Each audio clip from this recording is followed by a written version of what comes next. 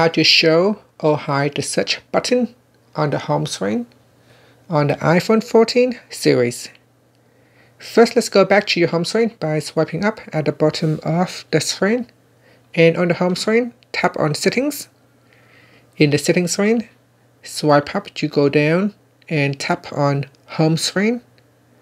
Now go down to the last option and tap on Show on home screen. Tap on the toggle button to turn off search uh, turn on search button on the home screen.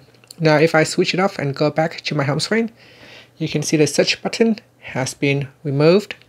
And if I go back into settings and turn it on, then the search button is now available. And you can tap on the search button.